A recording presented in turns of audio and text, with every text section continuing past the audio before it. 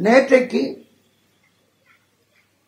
பிரதீபனுடைய வலது தொடையிலே கங்கை அமர்ந்ததும் அவளை மருமகளாக்கிக் கொள்ள ஆசைப்பட்டதும் சந்தனு அவளை மணந்ததும் நான் யாது செய்த போதிலும் அதனை தடுக்கக்கூடாது என அவள் நிபந்தனை விதித்ததும் அதன்படியே அவனும் எதுவும் கேட்காமல் இருந்ததும் ஏழு குழந்தைகளை அவள் ஆற்றிலே எரிந்ததும் எட்டாவது குழந்தை எரிய போகிற போது புத்திர பாசத்தினாலே தடுத்ததும் இத்தனை நாட்கள் இல்லாத பாசம் இப்பொழுது எங்கிருந்து வந்தது? என் சபதப்படி நான் பிரிகிறேன் என கங்கை கிளம்பியதும் காரணத்தை கேட்டதும் அப்பொழுது பிரம்ம சாபத்தையும் அஷ்ட வசுக்களுக்கு வசிச்சர் கொடுத்த சாபத்தையும் பெண்ணின்பம் இல்லாமல் வாழ வேண்டும் என்று சபிக்கப்பட்ட அந்த பிரபாசன் என்ற மூத்த வசுதான் இந்த எட்டாவது குழந்தை என்ற உண்மையையும் சொல்லி உரிய காலத்தை ஒப்படைப்பதாக சென்றதும் பதினாறு ஆண்டுகள் கழித்து தேவவிரதன் என்ற பெயரோடு பரசுராமரிடத்திலே அனைத்து சாஸ்திர வித்தைகளையும் கற்றுக் கொடுத்து அந்த பிள்ளையை அவன் தந்தையான சந்தனனிடத்திலே ஒப்படைத்ததும் சந்தனு பிறகு சத்தியவதியை ஆசைப்பட்டதும் தேவவிரதனே பாட்டனான செம்படவனிடத்திலே சென்று உங்கள் மகளை எனக்கு தாயாக்க வேண்டும் என கேட்டதும் வாரிசு பிரச்சனையை பற்றி அவர் பேசியதும் இந்த பிறப்பிலே நான் எந்த வாரிசு உருவாவதற்கும் காரணமாக இல்லாமல் நைஷ்டிக பிரம்மச்சரியத்தை காப்பேன் என பயங்கரமான சபதம் செய்ததும் பீஷ்ம பீஷ்ம என விண்ணவர்கள் ஆசீர்வதித்ததும் அன்று முதல் தேவவிரதன் பீஷ்மன் என்ற பெயரோடு தமிழிலே வீடுமன் என்ற பெயரோடு இந்த குலத்துக்கே முதல்வனாக இருந்து அத்தனை பொறுப்புகளையும் ஏற்றுக்கொண்டதும் அதன் பிறகு சத்தியவதி வயிற்றிலே விசித்திரவீரியன் சித்திராங்கதன் பிறந்ததும் சித்திராங்கதன் இளமையிலே இறந்ததும் விசித்திரவீரியனுக்காக காசிராஜனுடைய பெண்களாகிய அம்பியை அம்பாலியை மனம் செய்து வைத்ததும் அம்பை ஆத்திரம் கொண்டு பழிதீர்ப்பதற்காக சிகண்டி என்ற பெயரோடு துருவதராஜனுடைய அரண்மனையிலே வளர்ந்து வந்ததும் அதன் பிறகு இங்கே அந்த சித்திராங்கதனுக்கு பிறகு வந்த விசித்திர வீரியனுக்கு வாரிசு இருந்தால்தான் அங்கே அதற்கு பிறகு அந்த குலம் தழைக்கும் என நினைக்க அப்பொழுது அம்பிகை வயிற்றிலே திருதராஷ்டிரனும் அம்பாலிகை வயிற்றிலே பாண்டுவும் பிறக்க திருதராஷ்டிரன் பிறவிக்குருடனாக பாண்டுவோ வெண்குஷ்டம் பிடித்தவராக இருக்க வேலைக்காரி வயிற்றிலே அனைத்து தர்மங்களும் அறிந்தவராகிய விதுரர் பிறந்தார் என்ற அளவிலே நேற்றைய கதை நின்றது. என வராதவங்களுக்கு தெரியணுமே இதிலே விதுரருக்கு சொல்லும் போது பாரதத்திலே விதுர நீதினே ஒரு பகுதி உண்டு. அத்தனை தர்மங்களும் தெரிந்தவர் ஆனாலும் அந்த ஆட்சியிலே அவருக்கு எந்த விதமான மரியாதையோ மதிப்போ சரியான உரிமையோ இல்லை. கள்ளி வயிற்றிலே அகில் பிறக்கிறது. மான் வயிற்றிலே கஸ்தூரி. மாட்டினுடைய வயிற்றிலே கோரோஜன. பூனையினுடைய வயிற்றிலே புனுகு. சேற்றிலே தாமரை. சிப்பியிலே முத்து. இத்தனையும் பிறக்குமிடம் மோசமாக இருந்தாலும் அவற்றினுடைய பெருமைக்காக மதிக்கப்படுகிறது. ஆனால் இந்த உலகத்திலே மனிதனை மட்டும்தான் அவன் பிறப்பிடத்தை வைத்துக் கொண்டு தாழ்த்துவது என்பது நமக்கு கைவந்த கலை. பிறப்பை சொல்லி குறை கூறுவது அவன் எவ்வளவு போனாலும் சரி அதுலேயும் நம்முடைய தமிழ்நாட்டில் அது கொஞ்சம் அதிகமாகத்தான் இருக்கிறது. இன்னைக்கு நீங்க கேரள நாட்டை சேர்ந்த ரெண்டு மலையாளிகள் எங்கேயாவது சந்திச்சா எந்த சௌக்கியமோ அவ்வளவுதான். முப்பத்தஞ்சு வருஷம் எனக்கு தெரிஞ்சு ஒருத்தர் நாமக்கல்ல இருந்தால் கடைசி வரைக்கும் ஒரு கல்யாணம் ஆனவரா ஆகாதவரா ஒருத்தரை பத்தி இன்னொருத்தர் சொல்ல மாட்டாங்க. ஆந்திராவுக்கு போனா பாகவன்னாரா அதோட நிறுத்திக்குவான். கர்நாடகத்துக்கு போனா ஏன் சவிக்கவா அதோட. இமயமலை உச்சிக்கு போய் யாருமே இல்லாம ரெண்டு பேர் இருந்தா கூட அந்த ரெண்டு தமிழன் தப்பு தப்பா இங்கிலீஷ்ல பேசி அவனை தெரியாதா? அவங்க அப்பா எங்க ஊர்ல பஜ்ஜி கடை வச்சிருந்தாருமா. தேவையில்லாது உன்னை பார்க்க வேண்டுமே தவிர உன்னுடைய பின்னணி தேவையில்லை. ஒரு கொலகாரனுக்கு உத்தமமான பிள்ளை பிறக்கலாம். ஒரு விபச்சாரிக்கு கற்புக்கரசியான ஒரு பெண் பிறக்கலாம். அதனால அவர்களை மட்டும்தான் நம்ம எடை போட வேண்டுமே தவிர பிறப்பை காரணம் காட்டி ஒருவருடைய உண்மையான தகுதிகளை நாம் குறைத்து மதிப்பிடுவோமே யாரால் அது பாரதத்து விதுரர்ல இருந்து. ஆனால் அதுக்கு ஒரு காரணம் இருந்தது. விதுரருக்கு ஏன் அந்த நிலை வந்தது? ஒன்று ஞாபகம் வச்சுக்கணும். எதுவுமே நாம கொடுக்கிற விலைக்கு தகுந்த பொருள் தான் அரிசி கடையில பத்து வித அரிசி வச்சிருப்பான். எண்பது ரூபா கொண்டு போய் கொடுத்தா பாசுமதி அரிசி. நாற்பத்தி ரெண்டு ரூபா கொடுத்தா ஒன்னா நம்பர் பொன்னி. பன்னெண்டு ரூபா கொடுத்தா கொரோனா அரிசி. கடைக்காரன் ஒன்றும் உங்களுக்கு கொரோனா இவனுக்கு பாசமதி இல்லை. நீ கொடுக்கிற விலைக்கு தகுந்த பொருள் கிடைக்கும். அதை கொடுக்கிறதுக்காக அந்த கடைக்காரன் அதே மாதிரி நாம செய்த வினைக்குரிய பயன் நமக்கு கிடைக்கும். அந்த பயன் சரியான அளவிலே போவதற்காக காட்சி பொருளாக இருப்பவன் ஆண்டவர். அப்போ அந்த வினை பயன் என்ற ஒன்றை எப்படி இருந்தாலும் அனுபவிக்கணும். எத்தனை பிறவி எடுத்தாவது அதை முடிச்சுதான் ஆகணும். அழுதாலும் பிள்ளை அவதான் பெற்றாகணும்னு ஒரு பழமொழி உண்டு. அதே மாதிரிதான். நாம செய்த நல்வினை தீவினைக்குரிய பயனை எத்தனை பிறப்பெடுத்தாலும் நம்ம அனுபவிச்சுதான் ஆகணும். நன்றாக படிக்கிற பையன் ஒரே வருஷத்துல மேல் கிளாஸ் போயிடுறான். படிக்காத பையன் ஃபெயில் ஆகி அதே கிளாஸ்ல மூணு வருஷம் உட்காந்துருக்கான் அதே மாதிரி நாம இந்த வகுப்பிலே நல்லவர்களாக எந்தவித அப்பழுக்கும் இல்லாதவர்களாக தெய்வத்துக்கு பயந்தவர்களாக இருந்தா அடுத்த பிறப்பே இல்லை மேல் கிளாஸ் போயிடுவோம். நாம தப்பு தப்பா இருந்தா பாஸ் பண்ற வரைக்கும் மறுபடியும் மறுபடியும் புல்லாகி பூடாகி புழுவாய் மரமாய் மிருகமாய் பாம்பாய். கல்லாய் மனிதராய் பேயாய் கணங்களாய் வல்லசுராய் முனிவராய் தேவராய் செல்லானின்ற தாவர சங்கமத்துள் அத்தனை பிறப்பும் பிறந்துதான் ஆகணும். அந்த இறை பக்தி என்ற ஒன்று இருந்தால் அத்தனை பிறப்பிலேயே நாம கொஞ்சம் நல்லவனா வாழ்கிற ஞானம் கிடைக்கும். நாம செய்த பாவத்துக்கு நாய்ப்பிறவிதான் நமக்கு உண்டு என்றால் அதை ஆண்டவன் தடுக்க முடியாது. ஆனா நம்ம தப்பு பண்ணினதுனால நாய்ப்பிறவி என்றும் அதே நேரத்தில் நம்ம செய்த தப்பை நினைத்து வினையேன் அழுதால் உன்னை பெறலாமே என காதலாகி கசிந்து கண்ணீர் மல்கி இறைவனை எண்ணினால் நாயா பிறப்போம். ஆனா தெரு நாயா சொறி நாயா பிறந்து கல்லடிப்படாம சினிமா நடிகை வீட்டு நாயா ஏர் கண்டிஷன் ரூம்ல இருக்கும் அதுவும் நாய் தான் வினைப்பயனால நாய் தான் ஆனா ஆண்டவனுடைய அருளினால அந்த நாய் நல்லபடியா வரும் அதுதான் தெய்வ பக்திக்கு முக்கியத்துவமே. மாண்டவியர் என்ற மகாரிஷி இருந்தார். மகாஞானி. சும்மா இப்ப மாதிரி காஷாயத்தையும் தாடியும் வளர்த்துக்கிட்டு தலைமுடியும் வளர்த்துக்கிட்டு இத்தனை பெரிய உத்ராட்சத்தை மாத்திட்டு தலையில மணிமகுடத்தை போட்டுட்டு தங்கத்துல செங்கோலை வச்சுக்கிட்டு ஆனந்தமா நித்தியம் இருக்கிறதெல்லாம் இல்லை. அதெல்லாம் உண்மையான துறவே இல்லை. துறவி என்றால் ஆசைகளை துறக்கணும். முக்கியமா பெண்ணாசை பொன்னாசை மண்ணாசை மூனை துறந்தாத்தான் அவனுக்கு பேர் துறவி. ஆனா இது மூனை எவன் துறக்கலையோ அவன் தான் இன்னைக்கு துறவி. அவன் தான் இன்னைக்கு துறவி. நாலாயிரம் கோடி யார்கிட்ட இருக்கோ நாற்பது பெண்கள் சுத்தி வந்து எங்க கும்மி அடிக்கிறாளோ ஒரு ஆயிரக்கணக்கான ஏக்கர் எந்த மடத்துக்கு சொந்தமா இருக்கோ அவன் தான் பெரிய சாமியார். நாம் அப்படி பண்ணி வச்சிருக்கோம். உண்மையான துறவு என்பது உலகத்தை மையமாக கொண்டது. அவனுக்கு ஆசை இருக்கணும். புத்தருக்கு ஆசை இல்லை. ஆசையை ஒழிக்க வேண்டும் என்று சொன்னவர் தான் புத்தர். அந்த ஆசையை ஒழிக்க வேண்டும் என்ற ஆசை அவருக்கு இருந்தது. தன்னை பற்றி மட்டுமே எண்ணுகிறவன் கிரகஸ்தன். உலகத்தை மையமாக வைத்து உலகமே வாழ வேண்டும் என்று எண்ணுகிறவன் தான் துறவி. கிரகஸ்தன் கொஞ்சம் தப்பு பண்ணா கூட பொறுத்துக்கலாம். பிள்ளைக்குட்டிக்காரன் என்ன பண்ணுவான் பாவம். இப்போ லஞ்சம் வாங்கிட்டா கூட அவன் என்னப்பா பண்ணுவான்? நாலு பொண்ணு பிறந்தாச்சு கல்யாணம் பண்ணனா வாங்கிட்டான். அதுக்கு ஒரு விதிவிலக்கு கொடுப்போம். ஆனால் சாமியார் ரெண்டு ஆப்பிள பழகினா கூட சாமியாருக்கு ஆசை பாருப்போம் அதைத்தான் வள்ளுவர் சொல்வார். அரணனப்பட்டதே இல்வாழ்க்கை அகுதும் பிறன் பழிப்பதில்லாயின் நன்று. இந்த துறவரம் என்பது அடுத்தவங்க பழிக்காம இருக்கணும் கத்தி மேல நடக்கிற மாதிரி. அப்பேற்பட்ட மிகச்சிறந்த பிரம்ம ஞானி மாண்டவியர். அவர் சமாதி நிலையிலே அமர்ந்திருக்கிறார். சமாதி நிலைனா என்ன நடக்குதுன்னே தெரியாது. தனக்குள்ளேயே ஏகாகிரக சிந்தையோடு நீயும் நானுமாய் ஏகபோகமாய் இறைவனும் அவர்களும் மட்டுமா இருக்கிறதா சமாதி நிலை.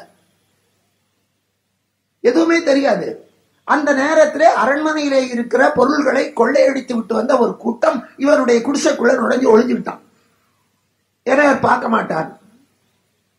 அப்ப தேடிக்கொண்டு வந்த காவலர்கள் இவருடைய குடிசையிலே இருந்து அந்த தப்பு செய்த கள்ளர்களை பிடிக்கிற போது இவரும் உடந்தை. கன்றுக்குட்டி பன்றிக்குட்டியோட சேர்ந்தா கன்றுக்குட்டிக்கும் கெட்ட பேர் தான் வரும்.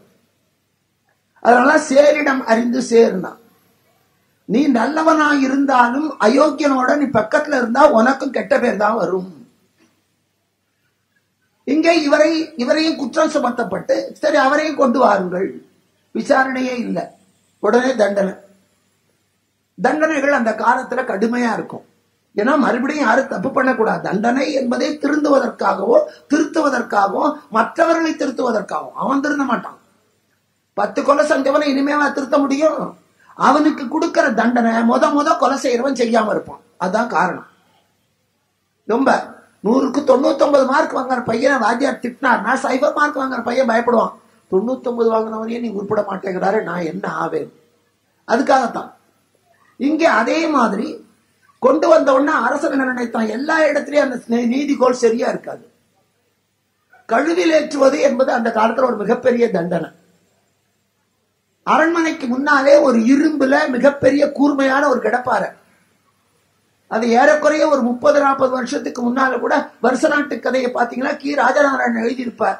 கோபாலபுரத்து மக்கள்னு. அதில் வரும். ஏன் நீங்கள் பார்த்தீங்களே முதல் மரியாதை. அது அங்கேருந்து வந்த திருடின கதை தான் ஒரு பெண்ணோட நகையை திருடுவதற்காக ஒருத்தன் கழுத்தை மிதித்து கொண்டு அந்த காது ஓலையை கட் பண்ணுவான். அப்போ அந்த பெண் அவன் கட்டவரில் வாயால் கடிச்சுப்பா.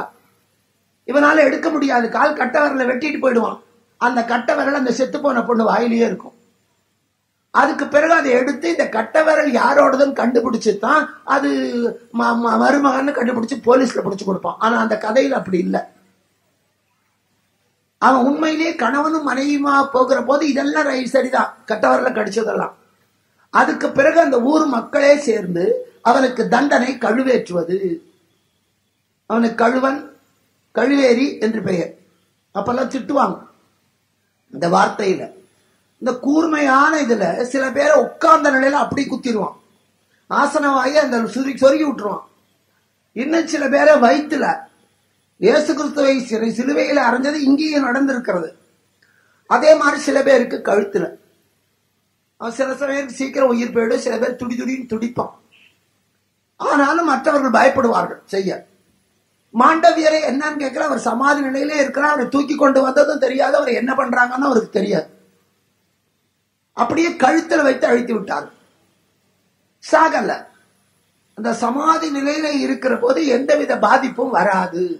ஏன்னா நம்மோடு கூட இறைவனும் அப்ப இருக்கான். அப்ப எல்லா முனிவர்களும் தேடி வருகிறார்கள் அந்த கழுவுனைக்கு இவர் பேசுறார் அந்த நேரத்திலேயே ஞானத்தை மற்றவர்களுக்கு உபதேசம் பண்ணுகிறார். எல்லோரும் கேட்கிறாரு உங்களுக்கே இந்த தண்டனை? எனக்கே தெரியல. அப்ப அரசனிடத்திலே செய்தி போகிறது. கழுவில் ஏற்றப்பட்ட கழுத்திலே கழுவுனை குத்தப்பட்ட ஒருவர் இன்னும் சாகாம ஞானத்தை உபதேசம் பண்ணி கொண்டிருக்கிறார். இதுல ஏதோ தவறு நடந்திருக்கிறது. அரசன் பயந்தான். தப்பு செய்யறது கூட பெருசு இல்ல. தப்பு செஞ்சு அதை உணர்ந்துக்கிட்டான்னா அதை விட நல்லவன் யாருமே இல்லை. அதை சாதிக்கிறது தான் தப்பு. நான் அப்படித்தான் செய்வேங்கிறது ரொம்ப மோசம். செஞ்சா என்ன? அது அதை விட மோசம். நான் செய்யவே இல்லைங்கிறது அது அதை விட மோசம். நான் செஞ்சுட்டேன் ஏதோ தெரியாம செய்துட்டேன். தெரியாம செஞ்சா தப்பு தெரிஞ்சே செஞ்சா குற்றம். தப்ப மன்னிக்கலாம் குற்றத்தை தண்டிக்கணும். அரசன் தெரியாம செஞ்சுட்டான். இவர் ஒரு மகாஞானின்னு எனக்கு தெரியாது. இவர் குடிசையிலே கல்வர்கள் ஒளிந்து கொண்டிருந்தார்கள் காவலர்கள் பிடித்துக் கொண்டு வந்தார்கள் அதனால தண்டனை நிறைவேற்றப்பட்டது. மன்னிச்சுக்கோங்க அவர் கழுவுல இருந்து இறக்குங்கன்ட்டான். இப்போ அந்த கழுத்துல ஆணி குத்தி இருக்கு. அந்த ஆணியை பிடிங்கினா செத்து போயிடுவாரு. அதனால என்ன பண்ணாங்க? முன்னால ஒரு ஷான் பின்னால ஒரு ஷான் அந்த ஆணியை அப்படியே கழுத்துல விட்டுட்டு அறுத்தெடுத்தாங்க. இன்னைக்கு இருக்கிற எல்லாமே அன்றைக்கு நடந்ததுதான் நான் ஏற்கனவே சொல்லிட்டு வரேன். இப்ப யாரையாவது துப்பாக்கியில சுட்டுட்டா உடம்புக்குள்ள நாலு குண்டு போயிடுதுன்னு வச்சுக்கோங்க. நாலு குண்டை எடுக்க முடியாது. சில குண்டுகள் எக்கச்சக்கமான ஆழமான இடத்துல அசைக்க முடியாம மூளையின் அடியிலேயோ இதயத்தின் ஓரத்திலேயோ போய் அந்த குண்டு இருக்கும். சாக மாட்டோம். ஆனா அந்த குண்டை எடுப்பதற்காக அறுவை சிகிச்சை பண்ணா செத்து போயிடுவான். அதனால டாக்டர்கள் என்ன பண்ணுவார்கள்? எடுக்கக்கூடிய வசதியான இடத்துல இருந்தா மட்டும்தான் குண்டை எடுப்பாங்க. மற்றதை உடம்புலயே விட்டுருவாங்க. இன்னைக்கு எத்தனையோ போர் வீரர்கள் அந்த உள்ளுக்குள்ள இருக்கிற குண்டோடையே இன்னமும் வாழ்ந்து கொண்டிருக்கிறவர்கள் இருக்கிறாங்க. இது இன்னைக்கு ஆச்சரியம். அன்னைக்கே நடந்திருக்கு. இதுவாது உள்ள போன குண்டு. இது வெளியே நீட்டிட்டு இருக்க கிடப்பாரு இவர் சொன்னார் ஒரு சான் விட்டு வெட்டிட்டு ஒரு சான் விட்டு அறுத்து எடுத்தாச்சு. அப்ப ஞானிகள் எல்லாம் துறவிகள் கேட்கார ஏன் ஒரு சான் விட சொன்னீங்க? நம்ம உடம்பு இருக்க இந்த உடம்பு முழுக்க எதுக்கு தெரியுமா? நீ நாளும் நினை நெஞ்சே யார் அறிவார் வாழாளும் சாய்நாள். சாக்காட்டம் பெருமாக்கே பூநாளும் தலை சுமப்ப புகழ் நாமம் செவி கேட்க நானாமம் ரக்க பெறலாம் இறையே.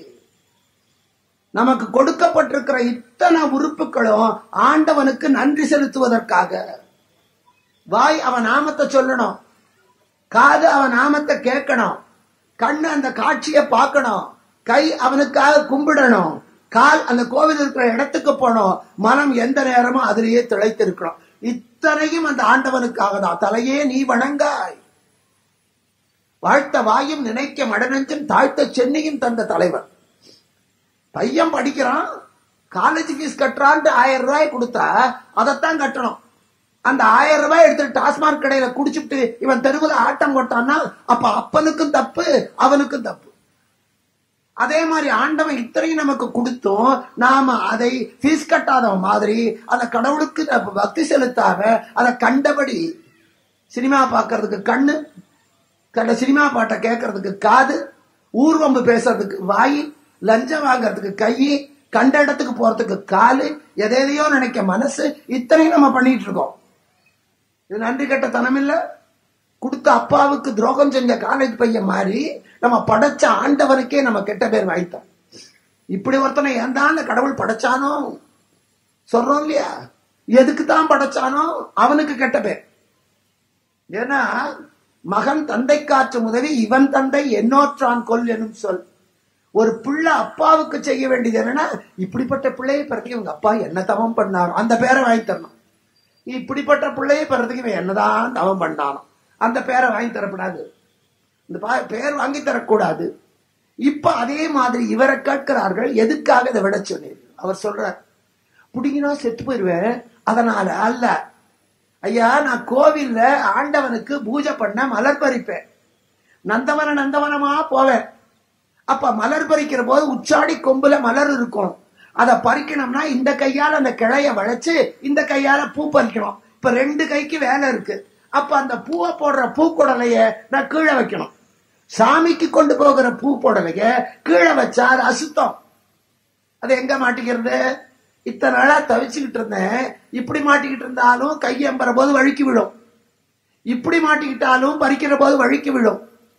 கழுத்தில் மாட்டிக்கிட்டாலும் எம்பரம் போது கயிறு இருக்கும் தவிச்சுக்கிட்டு இருந்தேன்.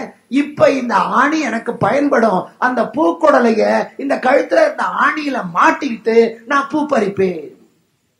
எண்ணத்தை பாருங்க.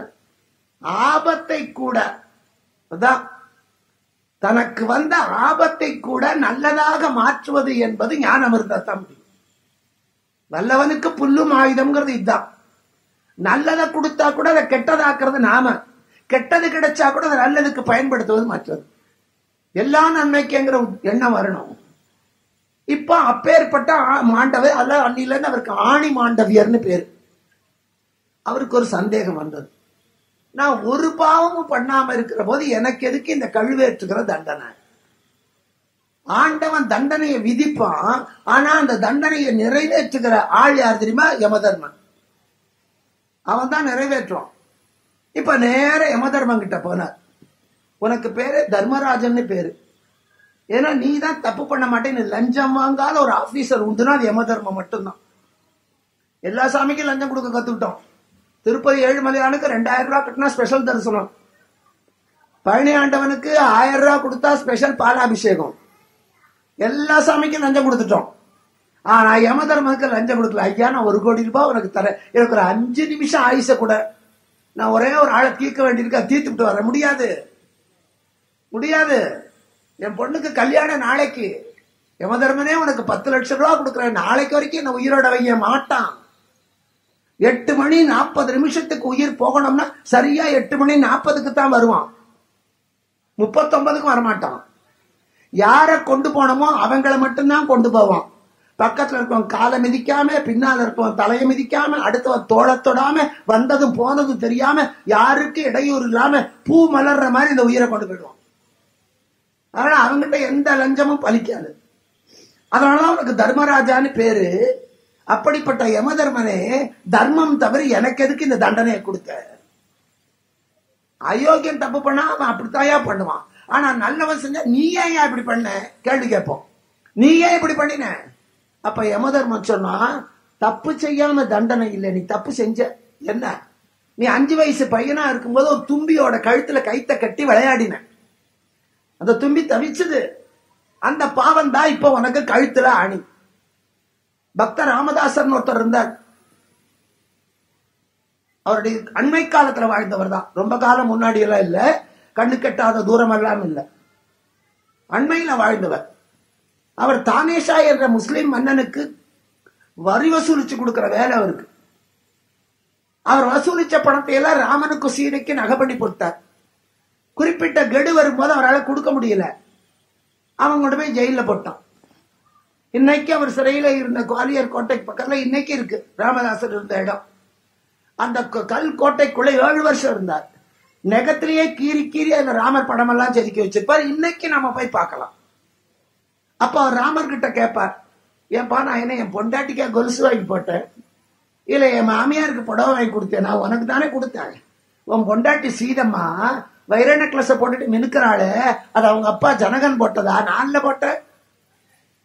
அப்பா ராமா நீ கைக்கெல்லாம் மகா வண்டியும் மகரகண்டியும் கழுத்துல வைரமாலையும் போட்டுக்கொண்டு நிக்கிறியே. உங்க அப்பா தசரதம் போட்டானா?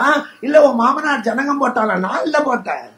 போட்டுக்கிட்டு மினுக்கிறது நீ கஷ்டப்படுறது இது உரிமையோட கற்கிறான் அதனால யார் செய்தாலும் அதுல யாருக்கெல்லாம் பங்கு இருக்கோ எல்லாருக்கும் தண்டனை உண்டு. ராமனும் லட்சுமணனுமே அந்த தானேஷாவுக்கு மாறுவேடத்திலே வந்து அத்தனை பணத்தையும் இவர் கட்ட வேண்டியதை கட்டிட்டு இவரை விடுதலை பண்ணார். அப்ப ராமதாசுக்கு ஏன் சாமிக்கு நகை போட்டதுனால அவருக்கு தண்டனையா? இல்ல. அவர் ஒரு கிளியை பிடித்து கூண்டில் அடைச்சு வச்சிருந்தார். சுதந்திரமா பறக்க வேண்டிய கிளியை கூட்டில் அடைச்சு வச்சிருந்தார் அந்த பாவம் இருக்கிறதே அந்த பாவத்தினால இவர் ஏழு வருஷம் கூட்டுல இருக்க வேண்டிய நிலை. நாம அதே தான் குழந்தைகளுக்கு சொல்லி கொடுக்கணும். அப்போ சொன்ன உடனே யமதர்மா நீ தும்பியினுடைய கழுத்திலே கயிறு கட்டினாய் அதனாலதான் இப்ப உனக்கு கழுத்திலே கழு. அப்ப கேட்கிறார் மாண்டவியர் அஞ்சு வயசு வரைக்கும் குழந்தைகளுக்கு பாவம் புண்ணியம் இது அந்த காலத்துல இப்ப இல்லை. இப்ப அஞ்சு வயசு குழந்தைக்கு எல்லாம் தெரியும் அப்பாவுக்கே பாடம் நடத்துவான். எல்லாம் சுப்பிரமணிய சாமி தான். அதனால அப்போ அந்த அஞ்சு வயசு குழந்தைக்கு தப்பு எது சரி எது நியாயம் எது அநியாயம் எது பாவம் எது புண்ணியம் எது தெரியாது. தெரியாது. அப்ப அந்த குழந்தை தப்பு பண்ணாம வளர்க்க வேண்டிய பொறுப்பு பெத்தவங்களை சேர்ந்தது. அவங்க சொல்லி கொடுக்கணும். டே இது தப்புடா. இத அப்பெல்லாம் சொல்லுவாங்க. இதை செஞ்சா சாமி கண்ணை குத்துவோம் டேய் பசங்களோட சேர்ந்து விளையாடாதடி. கோழி குத்தும். இப்படியெல்லாம் சொல்லி கொடுப்பாங்க. அப்ப இளமையிலே இருந்தே அந்த பெண் குழந்தைகளுக்கு ஒரு நாணம் அச்சம் இருந்தது. ஆண் பிள்ளையோடு நெருங்க கூடாதுங்கிற பயம் இருந்தது. கற்பு காப்பாற்றப்பட்டது. இன்னைக்கு ஆ, என்ன என்ன அவளும் படிக்கிறான் அவனும் படிக்கிறான். கிளாஸ்மேட் தானே. போயிட்டு வரட்டும் அம்மாவே. போயிடுது வரமாட்டேங்குது. அதான் பிரச்சனை. போயிட்டு வரட்டும் அனுப்புறா. அது போயிடுது வரமாட்டேங்குது. தப்பு நம்ம கிட்ட தான் எத்தனை காலமானாலும் எது எதற்கு செல்லம் கொடுக்கணுமோ அதோட நிறுத்திக்கணும். இன்னைக்கு பெற்றவர்களுக்கு அந்த பொறுப்பே கிடையாது. நீ கோடீஸ்வரனா இரு. ஆனா அவன் குழந்தைக்கு அளவோட கொடுத்து பழக்கு. உன் வருமானம் என்னன்னு உன் குழந்தைக்கு தெரியணும்.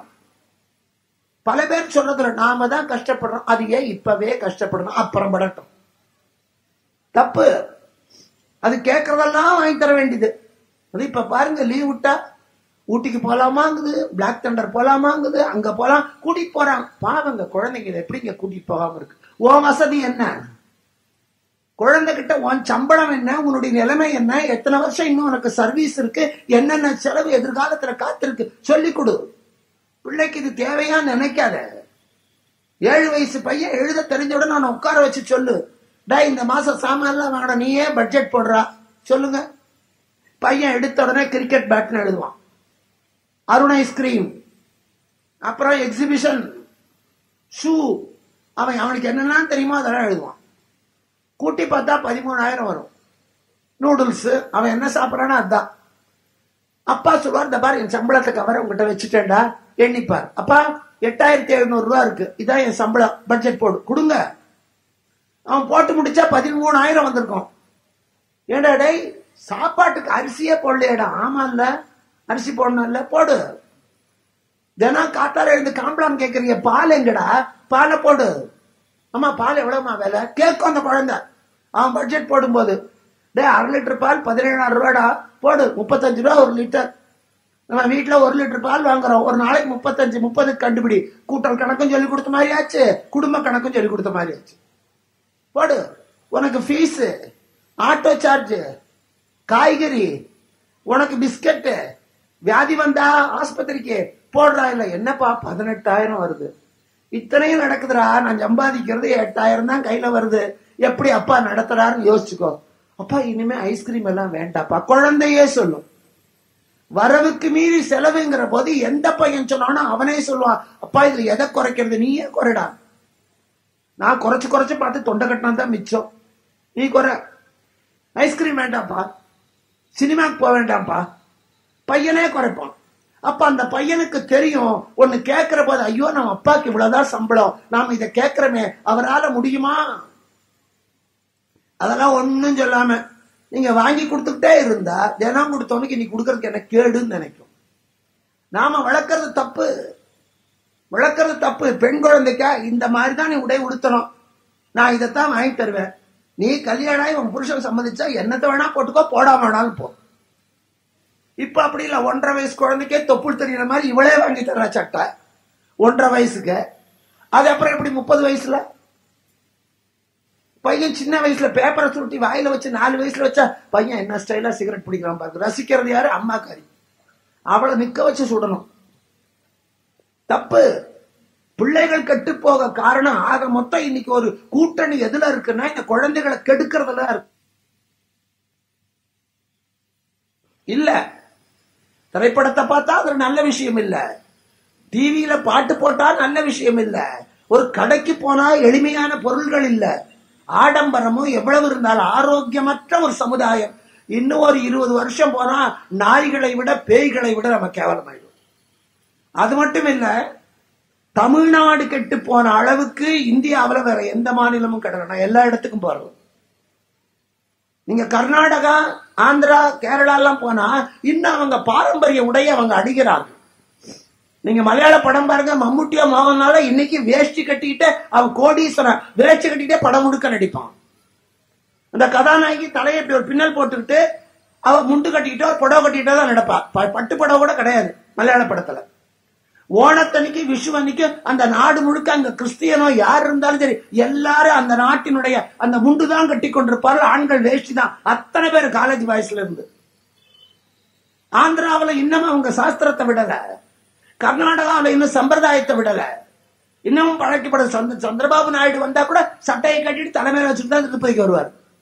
ஆனா தமிழ்நாட்டுல டாப் டு பாட்டம் உடை உணவில்லை வாழும் முறை இல்ல எங்க இருக்கு? முன்னெல்லாம் வாசல்ல போட்டிருக்கிற கோலத்தை பார்த்து இது சைவரா வைஷ்ணவரான்னு கண்டுபிடிச்சிடலாம். வீட்டுல யாராவது செத்து போயிட்டா ஒரு வருஷம் வாசல்ல கோலம் போட மாட்டோம். அப்ப யாரும் வந்து அங்க கல்யாண பத்திரிகை கொடுக்க மாட்டாங்க. அவங்களே நொந்து போயிருக்காங்க நாம போய் அவங்கள சந்தோஷப்படுத்த கூடாது. தெரியும். இப்போ கோலமும் கிடையாது செம்மணும் கிடையாது ஒண்ணும் கிடையாது. முன்ன புடவைகள் எல்லாமே பதினெட்டு மழை புடவை அவங்க அவங்க ஜாதி கட்டுன்னு ஒன்று வச்சிருந்தோம் இப்ப இல்லையே? ஐயர் வீட்டு பொம்பளையும் கட்ட மாட்டேங்கிறா. ஐயங்காரிங்கான முதலியாரிங்கான செட்டியாரிங்கான எல்லாம் தேசிய உடை எது நைட்டி? முன்னெல்லாம் பதினெட்டு முழ புடவை கட்டியிருந்தா பாட்டி. ஒரு ஆறு கஜத்துல ஒரு நூல் புடவை கட்டியிருந்தா அம்மா. அதே ஆறு கஜத்துல ஒரு நைலக்ஸ் கட்டியிருந்தா அக்கா. பாவாடை தாவணி போட்டிருந்தா தங்க. கவுன் போட்டிருந்தா பேத்தி. கேட்கவே வேண்டாம் தெரிஞ்சுக்கலாம். இப்ப வீட்டு சோஃபா கவர்ல இருந்து பாட்டியில இருந்து கொள்ளுப்பேத்தி வரைக்கும் எல்லாம் நைட்டி. வெளிநாடுகளில் கூட அந்த நைட்டி என்பது இரவு நேரத்தில் மட்டும்தான் போடுவாங்க.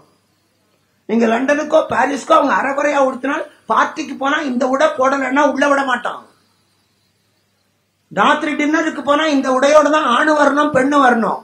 அப்படி இல்லைன்னா வெளியே துரத்திடுவான் அவன் கோடீஸ்வரனா இருந்தா கூட. அந்த பாரம்பரியத்தை இன்னமும் கட்டி காப்பாத்துகிறார். நாம இல்லையே. மாடு மேய்க்கிறதுல இருந்து மகாராஜாவா இருக்கிற வரைக்கும் ஆணும் சரி பெண்ணும் சரி ஒண்ணும் கிடையாது. இந்த செல்போனை இவ்வளவு உபயோகிக்கிறது தமிழ்நாட்டை தவிர வேற எங்கேயும் கிடையாது. நீங்க பஸ்ல பாருங்க ஒருவே இருக்காது. அது சாதாரண கிராமத்து அம்மாவா இருப்பா. ஏறி உட்கார்ந்ததுல இருந்து ஆத்தூர் வர்ற வரைக்கும் வாழைப்பாடு தாண்டிட்ட. என்ன சமைச்ச? இது ரொம்ப முக்கியமா? அதுவும் பக்கத்துல யாராவது இருந்தா அவங்க பார்க்கணுமா? அதை டக்கு டக்கு டக்குன்னு அழுத்திக்கிட்டு இருபத்தி நாலு மணி நேரம் காதலியே இருக்கும். ரொம்ப மோசமான ஒரு சூழ்நிலை. அதைத்தான் அன்னைக்கே மாண்டவியர் சொன்னார் குழந்தையை திருத்த வேண்டியது பெற்றவர் கடமை. அந்த குழந்தை அஞ்சு வயசு வரைக்கும் தப்பு பண்ணா அப்பா அம்மாவை ஜெயில போடு. இன்னைக்கு அதேதான். பன்னெண்டு வயசு வரைக்கும் குழந்தைகள் தப்பு செய்தால் அவர்களை சிறையில போடாதே அவர்களுக்கு சீர்திருத்த பள்ளிகளை கொடுத்து திருத்து. இதுக்கு ஆரம்பிச்சது மாண்டவியர். மாண்டிசரி பள்ளி மாதிரி சீர்திருத்த பள்ளிக்கு மாண்டவிய சீர்திருத்த பள்ளின்னு வைக்கணும். ஆனா அது உண்மையான சீர்திருத்தம். இப்ப இருக்கிற சீர்திருத்த பள்ளிக்கு ஏதோ ஒரு பத்து ரூபா திருடினாங்கிறதுக்காக அந்த பையனை உள்ள அனுப்புவான். அந்த சின்ன திருடு திருடின பையன் அந்த சீர்திருத்த பள்ளிக்கு போயிட்டு வெளியே வரும்போது பக்கா கிரிமினலா வருவான். அந்த சூழ்நிலை அங்க இருக்கிறவர்கள் யாரு திருத்தவே நினைக்கல. அவன் திருத்திட்டா நம்ம பழப்பு போயிடும். நம்ம பழப்பு போயிடும். திருடனெல்லாம் போயிட்டா போலீஸ்காருக்கு வருமானமே இல்லை. கிரிமினல்லாம் ஓய்ந்து போயிட்டா கோர்ட்ல இருக்கவனுக்கு வேலையே இல்லை. அதனால கிரிமினல்கள் பெருகட்டும். திருட்டு பெருகட்டும். நாமளே வளர்த்து விடுறோம். அந்த அந்த காலத்து பாரதத்தில் இருந்த பண்பாடு அது இப்பவும் இருக்கு. ஆனா அப்படி இருக்கா அதான் கேள்வி. மாண்டவியர் சொன்னார் அதனால யமதர்மனே யாருக்கு எதற்கு தண்டனை கொடுக்க வேண்டும் என்பதை கூட நீ திட்டமிடாமல் இருந்த காரணத்தினாலே உனக்கு அந்த அறிவு இல்லை. செய்யாத தப்புக்கு ஒருத்தனுக்கு தண்டனை கொடுத்தா அவன் மனசு என்ன வேதனைப்படுங்கிறத நீ அனுபவிச்சு பார்க்கணும். அதைத்தான் பிரமாதமா இன்னைக்கு கோர்ட்ல போட்டுறோம். ஆயிரம் குற்றவாளிகள் தப்பிக்கலாம். ஆனா ஒரு நிரபராதி தண்டிக்க கூடாது இது வாயோட சரி சினிமா வசனத்தோட சரி. ஆயிரம் குற்றவாளிகள் விடுதலை ஆகிறான் ஒரு நிரபராதியும் தண்டிக்கப்படுறோம். அவ்வளவுதான். இப்ப அதான் சொல்றார் அடி எப்படி வலிக்கும்னா அடி வாங்கினவனுக்கு தான் தெரியும். அது மாதிரி யமதர்மனே எனக்கு இவ்வளவு பெரிய தண்டனையை கொடுத்துட்ட. நான் செய்யாத தப்புக்கு திருடன்கிற பேரோட நட்டன் நண்டு தெரியல என்ன கழுவுல ஏற்ற வச்ச. நீ அதை அனுபவிச்சாத்தா உனக்கு அந்த வேதனை தெரியும். போய் பூலோகத்துல போற. அந்த யமதர்மன் தான் மித்துரரா வந்து பிறந்தோம் அவர் எப்படி செய்யாத தப்புக்கு தண்டனை அனுபவிச்சு வேதனைப்பட்டார் என்பது துகிலுறுகிற அன்றைக்கு தெரியும். துயிலிருக்கிற அன்றைக்கு அவர் என்ன பாடுபட்டார்னு தெரியும். ஆனால் மற்றவர்களாலே ஒதுக்கப்பட்டாலும் பகவானாலே ஏற்றுக்கொள்ளப்பட்ட ஒரே பாத்திரம் விதுரர் மட்டும்தான். காரணமே இல்லாமல் ஆண்டவன்கிட்ட எதையுமே கேட்காதவர் விதுரர். அவர்கிட்ட இருந்து எதையுமே எதிர்பார்க்காதவன் கிருஷ்ணன். அதான் உண்மையான பக்தி. அர்ஜுனன் கேட்டவன். அர்ஜுனன் கிட்ட கிருஷ்ணன் எதிர்பார்த்தான். அது பக்தியே அல்ல. ஒரு சந்தர்ப்பவாத கூட்டணி அவ்வளவுதான். ஆனால் மித்துரரிடத்திலே கிருஷ்ணன் வைத்திருந்த அன்பு என்பது அப்பழுக்கற்றது. அவனால மதிக்கப்பட்ட ஒரே ஒரு ஆள் பாரதத்துல ஒருத்தன் தான். அவனை பார்ப்போம் பதினேழாவது நாள். இங்க அதே மாதிரி அந்த மித்துரர் வந்து பிறக்கிறார். இங்க ரெண்டு பேர் திருதராஷ்டிரம் பாண்டுவும். கல்யாணம் பண்ணணும். ஒரு ஆணுக்கு எவ்வளவு குறை இருந்தாலும் கல்யாணம் ஆயிடும்.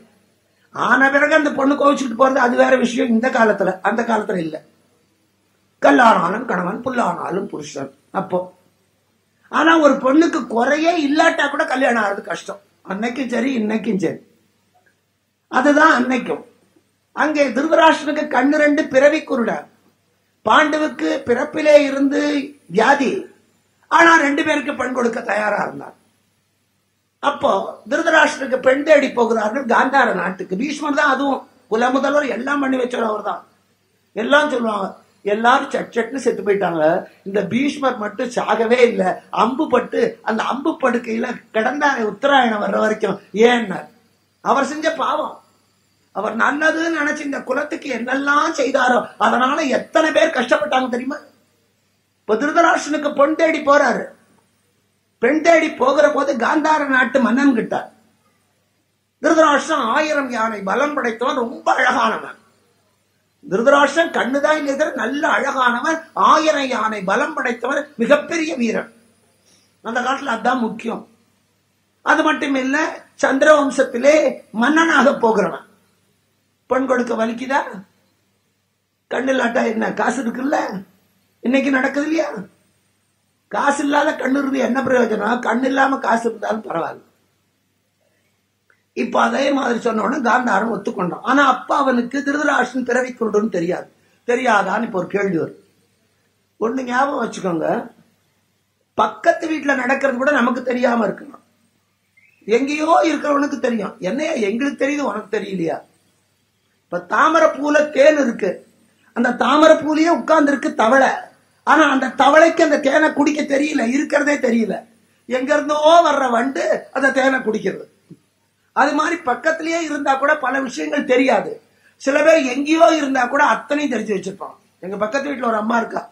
திருக்க வேலைக்கு கூட போறதில்ல. யார் வீட்டுல எத்தனை கடுகு போட்டு தாளிக்கிறாங்கன்னு அவளை கேளுங்க கரெக்டா சொல்லுவான். எனக்கு ஆச்சரியம். வீட்டுல இருந்துட்டே எப்படி இந்த வம்பு கண்டுபிடிக்கிறா? அதுவே ஒரு கலை. அதுவே ஒரு கலை.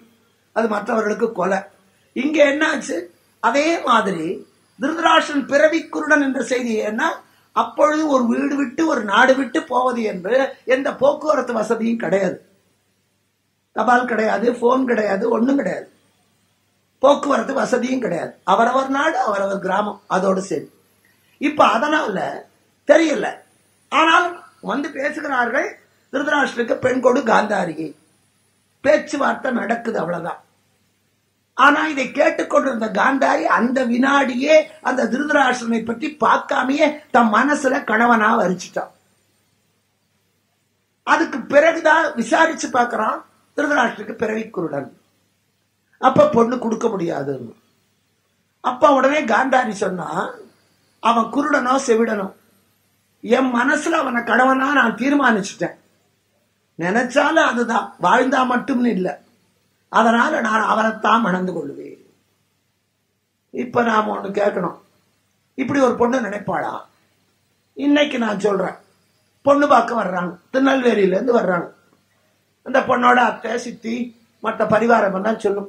அடி திருநெல்வேலி மாப்பிள்ள வந்திருக்காருடி இந்த கல்யாணம் நிச்சயமாயிடும். ஆனா நீ திருநெல்வேலிக்கு போயிடுவே. அங்கிருந்து வரும்போது எனக்கு அல்வா வாங்கிட்டோம் இன்னும் அடிங்கிறதுக்கே புருஷனை காணும். அதுக்குள்ள அல்வாவுக்கு இப்பவே கியூல திருநெல்வேலி வரும்போது அல்வா வாங்கிடுவான் நீ காந்திபதி கோயிலுக்கு போறபோது எனக்கு சேர்த்து இன்னும் ஒன்றும் நடக்கல. என்ன அந்த பையன் வந்து பார்க்க கூட இல்லை. ஜாதகம் பார்த்தாச்சு அவன் வந்து பார்க்க பார்த்த உடனே நிச்சயம் ஆயிடுது இப்படி சொல்லி சொல்லி அந்த பொண்ணு என்ன நினைப்பா? அவன் வர்றதுக்குள்ளே தன் மனசுக்குள்ள திருநெல்வேலியிலேயே போய் அவனோட குடும்பமே நடத்தி குழந்தைய பெற்றுருவான் கற்பனையில். வந்து பார்ப்பான். அதுக்கப்புறம் ஏதோ வரதட்சணை படியில் ஊருக்கு போய் லெட்டர் போடுறேமா நின்று போயிடும். அதுக்கப்புறம் தஞ்சாவூர்ல இருந்து ஒரு மாப்பிள்ளை வருவான். நிச்சயமா இந்த இடம் உனக்கு தான் நீ தஞ்சாவூர் நாட்டு பண்ணா தான் போற. இதுக்காகத்தான் அந்த இடம் தப்பி போச்சு. அதனால நீ தஞ்சாவூருக்கு போனேன்னா பிரகதீஸ்வரர் கோயிலுக்கு நான் வந்து உங்க வீட்டுல தான் தங்குவேன். இவளே நீ வீட்டை விட்டு தாண்டல டிக்கெட்டை ரிசர்வ் பண்ணியாச்சு. அதனாலதான் சில ஜாதியில பாருங்க மாப்பிள்ளையும் பொண்ணையும் பார்க்க விட மாட்டாங்க.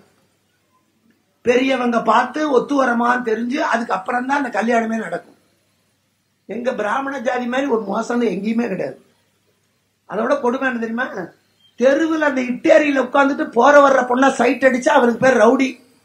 அவனையே கூப்பிட்டு நடு வீட்டில் உட்கார வச்சு பஜ்ஜியும் சொஜ்ஜியும் கொடுத்து பொண்ணை பாத்துக்கிட்டான்னா அவனுக்கு பேர் மாப்பிள்ள ரெண்டு பேர் பண்றது ஒரே காரியம். அவன் கட்டிக்கிறதா இருந்து பார்த்தா பரவாயில்ல.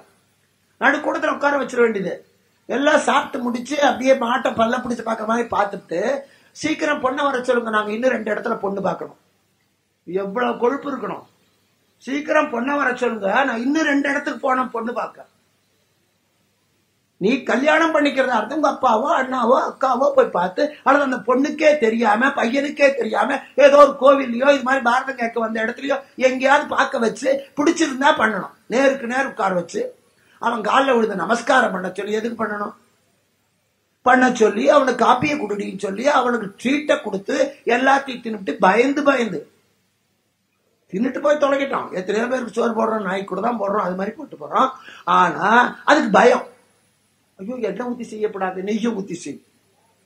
இந்த கன்றாவியெல்லாம் பார்த்தா நான் எவங்காலையும் விழ மாட்டேன் அதனால வாஸ்தவம் அந்த பெண்ணோட மனசுல நாமவே சில எதிர்பார்ப்புகளை உண்டாக்க கூடாது ஆண் மனசுலையும். சில ஆண்மகனும் பார்த்த உடனே அந்த பொண்ணை பிடிச்சிருக்கும் சரி அவளை கல்யாணம் பண்ணிக்கலாம் மனைவியாவே நினைச்சு ராத்திரி எல்லாம் கனவு கண்டுகிட்டு இருப்பான். நான் நேற்றுக்கே சொன்னேன் கனவு என்பது தூக்கத்துல வர்றது இல்ல தூக்கமே வராம எது பண்ணுதோ அதுதான் கனவு. அவன் தூங்காம உட்காந்துருப்பான் ஆனா அதுக்கப்புறம் இல்ல இந்த மாப்பிள்ளை இல்ல நாங்க வேற இடத்துல பார்த்திருக்கோம். அது நிச்சயம் மாட்டோம் அவனுக்கும் ஏக்கம் தான் இப்பவே அப்படி நடக்கிற போது அந்த காலத்துல இப்படி பத்து பேர் பார்க்கறது பதினஞ்சு பேர் வேண்டாங்கிறதெல்லாம் கிடையாது.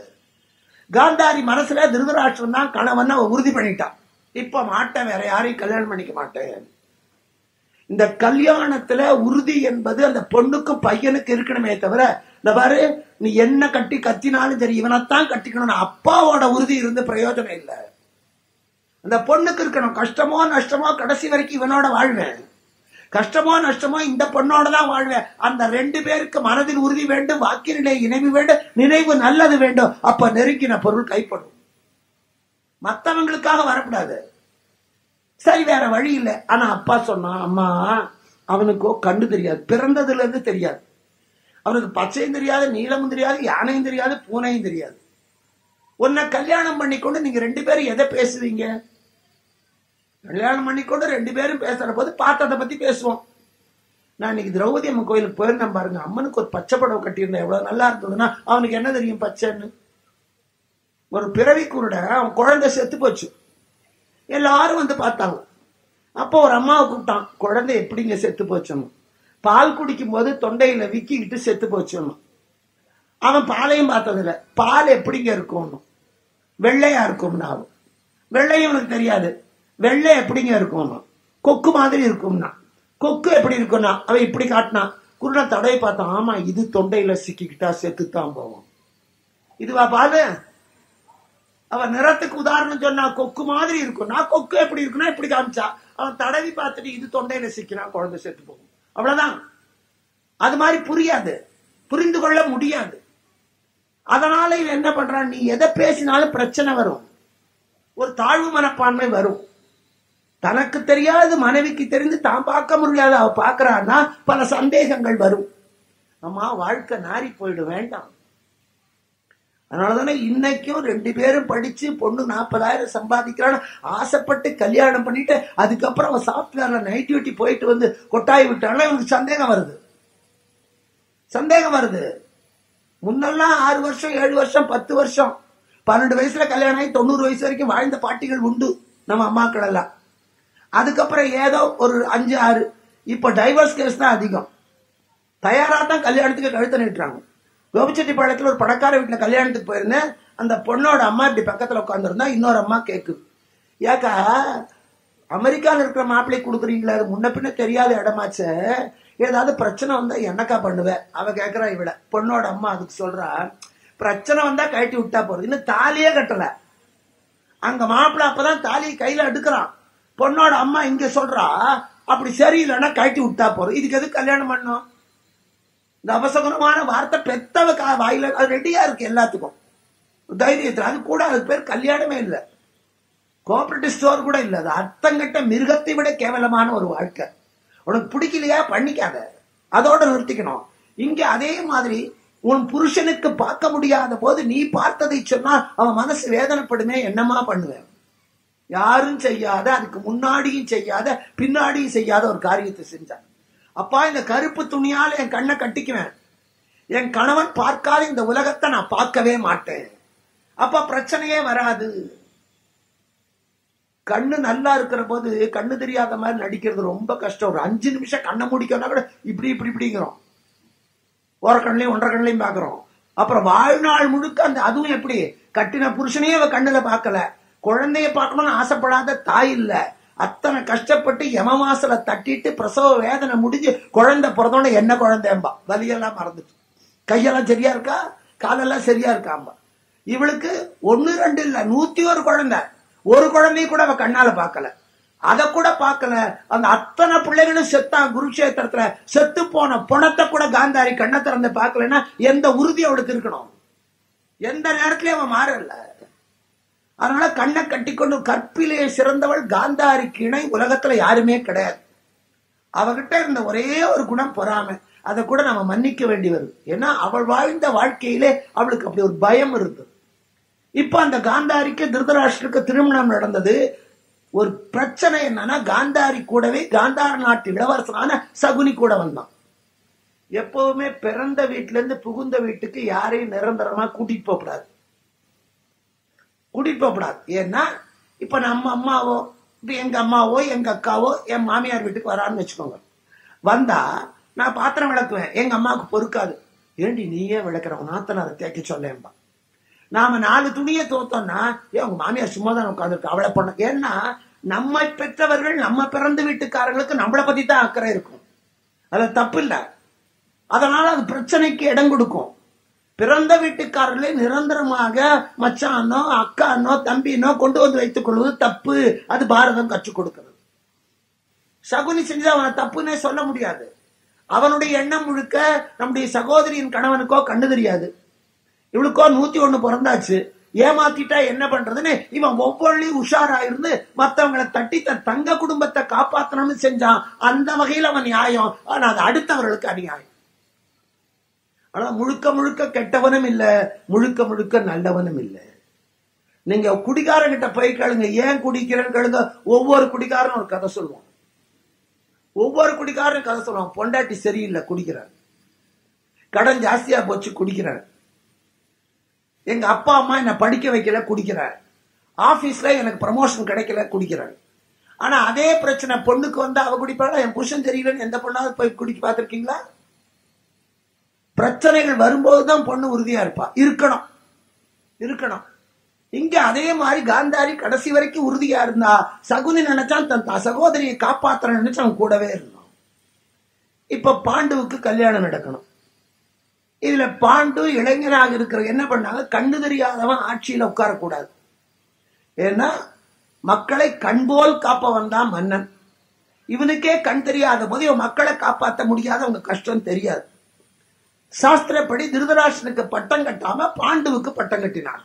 தம்பி ஆட்சிக்கு வந்தான். அண்ணனுக்கு இல்ல. அப்ப பாண்டு நான் அன்னைக்கே சொன்னேன் பதவி பிரமாணம் என்று சொல்லும்போது என்னால் என் பரிஜனத்தால் விலங்குகளால் அயல் நாட்டாரால் எந்த கேடும் வராமல் என் மக்களை காப்பாற்றுவேன். அதுக்காக விலங்குகளாலே துன்பம் வராம இருக்கணும்னா இவங்க அடிக்கடி வேட்டைக்கு போவாங்க. அடிக்கடி வேட்டைக்கு போவாங்க. துஷ்ட மிருகங்களை அழிப்பதற்கு. அப்ப காடுகள் எல்லாம் அதிகம். அதனால பாண்டுவம் வேட்டைக்கு போறோம். வேட்டைக்கு போகிற போது கிந்தமன் என்ற ஒரு முனிவர் மான் வடிவம் எடுத்துக்கொண்டு தன் காதலியோடு கொஞ்சி பேசி விளையாடுறார். நான் நாகரிகமா சொல்றேன். பாண்டு பார்க்கறான். அவன் பெண் பெண்மானை ஆண்மான் துரத்துகிறது ஆசைக்காக. ஆனா பாண்டு நினைச்சா இந்த பெண்மானுக்கு துன்பம் தருவதற்காக இந்த ஆண்மான் துரத்துகிறது அந்த பெண்மான் பயந்து பயந்து போகுது. கோடி இவன் என்ன நினைச்சா இந்த ஆண்மானால இந்த பெண்மானுக்கு ஏதோ துன்பம் இருக்கிறது பெண்மானை காப்பாத்துறோம்னு நினைச்சிட்டு இவன் அம்பு போட்டான் அந்த ஆண்மான் அடிபட்டு விழுந்துருது. விழுந்த உடனே கிந்தவன் வடிவம் வந்தது. அட பாவி நான் என்னுடைய மனைவியோடு இன்பம் துய்ப்பதற்காக போய்க் கொண்டிருந்த போது என்னை கொன்னுட்டியடா. அதனால நான் சாகிறத பத்தி கவலைப்படல. என் ஆசை நிறைவேறாம நான் சாகிறேன். அதே மாதிரி நீயும் அன்போடு காதலோடு ஒரு பெண்ணை நெருங்குகிற போது நீ செத்து போவ. இப்பவும் அதேதான். ரெண்டு ஜீவன்கள் இணைகிற போது அதை தடுக்க கூடாது குழந்தைகளுக்கு சொல்லித்தரணும் கல் அடிக்கிறது துரத்துறதெல்லாம் தப்பு. யாராவது ரெண்டு பேரை நம்ம பிரிச்சோம்னா நம்ம வாழ்க்கையிலையும் பிரிய வேண்டிய நிலை வரும். யாராவது சாப்பிடும்போது தட்டி பறிச்சா கடைசி காலத்துல ஒரு வாய் சோறு முழுக முடியாம தொண்டையில கேன்சர் வரும். முற்பகல் செய்யின் பிற்பகல் விளையும். பிறர்க்கின்னா முற்பகல் செய்யும் தமக்கின்னா பிற்பகல் தானே வரும். நீ தேடி போய் அடுத்தவனுக்கு துன்பம் செய்யணும். ஆனா நீ செஞ்ச அந்த துன்பம் இருக்கே நீ செஞ்சதுனால எனக்கு வழி தெரியும். நான் சேலத்துல இருந்து ஆத்தூருக்கு வந்து ஒருத்தனை அடிச்சுட்டு போறேன். அப்ப என் கூடவே தானே அந்த புத்தி வந்தது. அந்த துன்பம் என்ன பண்ண திருப்பி போறபோது வழிகாட்ட வேண்டாம். நான் தானே கூட்டிட்டு வந்தேன். அதே வழியா மத்தியானமே வந்து என்ன அடிக்கும்? அதனால செய்யாதே. இங்க பாண்டுக்கு சாபம் கொடுத்தாச்சு. அது அவனுக்கு தெரியும். இப்ப அவன் எந்த பெண்ணையும் நெருங்க முடியாது எல்லாருமே ஈடுபட முடியாது. ஆனா இது யாருக்கும் சொல்லல யாருக்கும் தெரியல. இன்றைக்கும் சமுதாயத்திலே எத்தனையோ திருமணங்களிலே இல்லறத்துக்கு லாயக்கில்லாத ஆண்மகனை அதை மறைச்சு வச்சு கல்யாணம் நடக்கிறது எத்தனையோ இடங்கள்ல இன்னைக்கு நடக்கிறது. திருமணத்துக்கு பிறகு தெரிஞ்சும் பிரயோஜனம் இல்லை. எல்லா பொண்ணும் டைவர்ஸ் பண்ண முடியாது. ஏழை பொண்ணா இருந்து வாழ வழி இல்லைன்னா ஏதோ சோத்துக்கு துணிக்காது இருக்கு இருக்கேன். எத்தனையோ? அப்போ பாண்டி இதை சொல்லவே இல்லை. அதனால என்ன ஆச்சு ஆனா பொண்ணு பாக்குறாங்க அதுதான் வேடிக்கை. தகுதி இல்லாத இல்லறத்துக்கு தகுதி இல்லாத இவனுக்கு பெண் பார்க்கிறார்கள். யாருக்கு தெரியாது அப்போ. அப்போ குந்திபோஜராஜன் பீமன் என்பவனுடைய மகள். அவளை இந்த குந்திபோஜனுக்கு தத்து கொடுத்திருந்தார்கள். அவளுக்கு பேர் பிருதை. குந்தி போதராஜனாலே விளக்கப்பட்டதுனாலே இவளுக்கு குந்தின்னு பேரு. அந்த பொண்ணுக்கு எந்த குறையும் இல்லை. ஒரு குறையுள்ள பையனுக்கு ஒரு குறையுள்ள பொண்ணை பண்ணி வச்சாலும் ஒத்துக்கலாம். பரவாயில்ல அந்த பொண்ணுக்கு வாழ்வு கொடுத்த மாதிரி அவ இவனுக்கு கை கொடுத்த மாதிரி. குறையே இல்லாம் புந்தியால் அரும் கலைமகள் பொற்பினால் பூந்திரு புனை கற்பினால் அந்திவாள் அருந்ததி.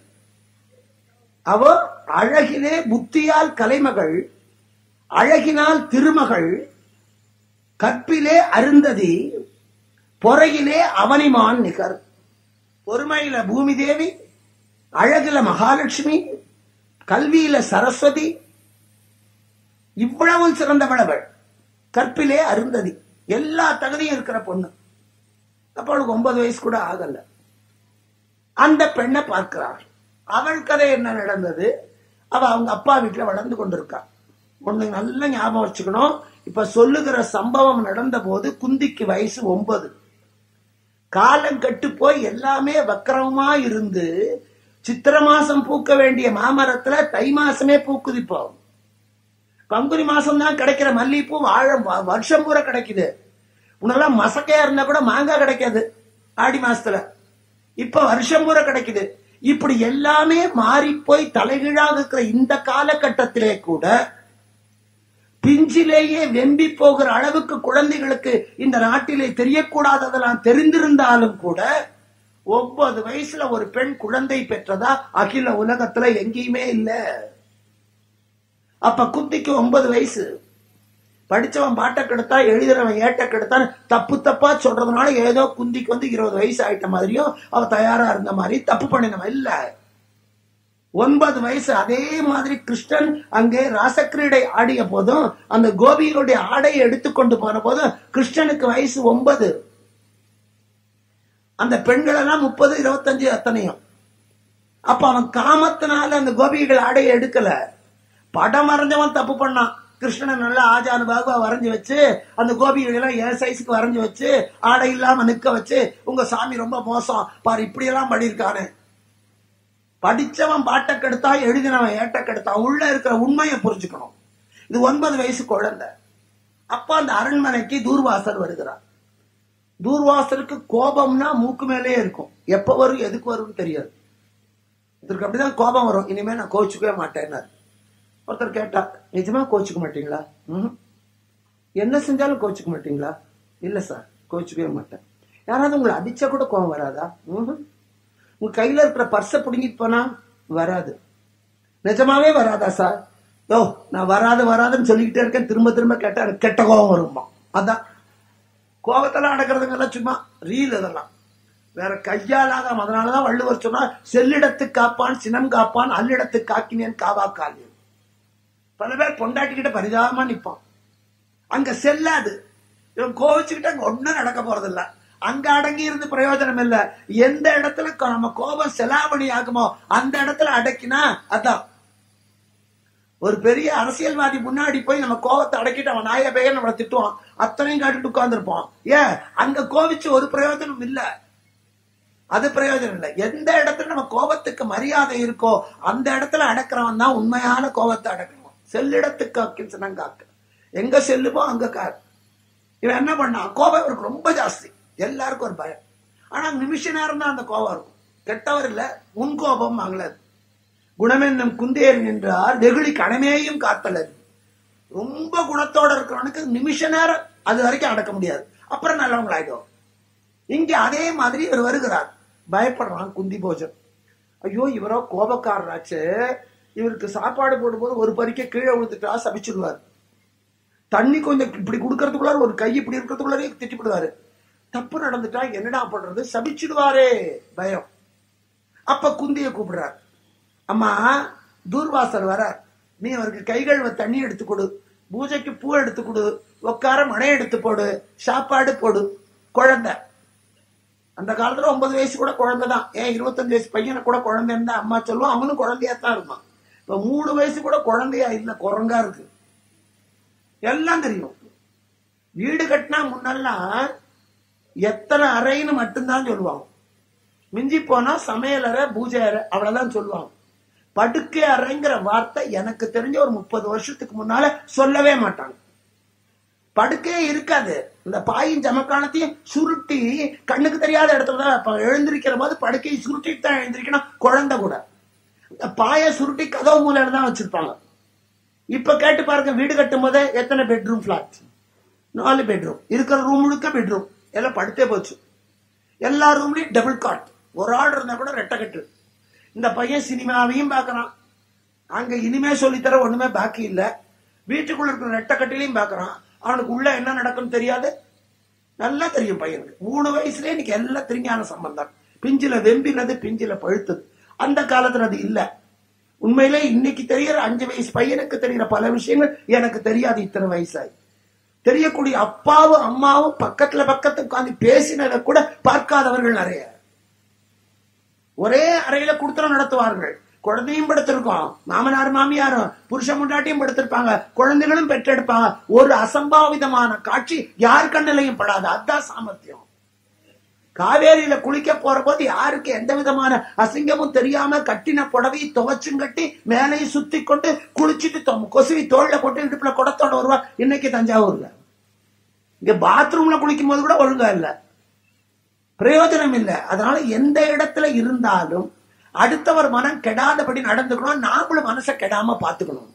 அந்த ஒன்பது வயசு குழந்தைக்கு அந்த காலத்துல தெரியாது. இது எத்தனை? பல கோடி ஆண்டுகளுக்கு முன்னால நடந்த கதை. ஐம்பது வருஷத்துக்கு முன்னாலேயே தெரியாதுன்னா அப்ப தெரிஞ்சிருக்கவே வழி இல்லை. இந்த குழந்தையும் பயபக்தியோட எடுத்து கொடுக்குது. இப்ப நான் ஒண்ணு கேக்குறேன். ஆபீஸ்ல இருந்து வர்றாரு கணவன். வந்த உடனே பெண்டாட்டி காஃபி கொண்டு வர உனக்கு உடனே காஃபி குடிக்கணும். இவ காஃபியை கொண்டு வந்து கொதிக்குது காஃபி. இவர் சோஃபால உட்காந்துருக்கார் வந்த உடனே ஃபேனை போட்டு விட்டார். பெண்டாட்டி பேரை கூப்பிடுறோமோ இல்லையோ வீட்டுக்குள்ள நுழையிற போது இன்னும் பிரமாதம். வீட்டுல இருந்து வெளியில இருந்து வரும்போதே ஏசி போடுறதுக்கெல்லாம் கண்டுபிடிச்சிட்டான். நீங்க அங்க இருந்து வரும்போது வாசல்லயே ஒரு பட்டனை தட்டினா நம்ம உள் இந்த தகவல் உங்களுக்கு பிடிச்சிருந்தா லைக் பண்ணுங்க. உங்க ஃப்ரெண்ட்ஸுக்கு ஷேர் பண்ணுங்க. மறக்காம எங்க சேனலுக்கு சப்ஸ்கிரைப் பண்ணுங்க.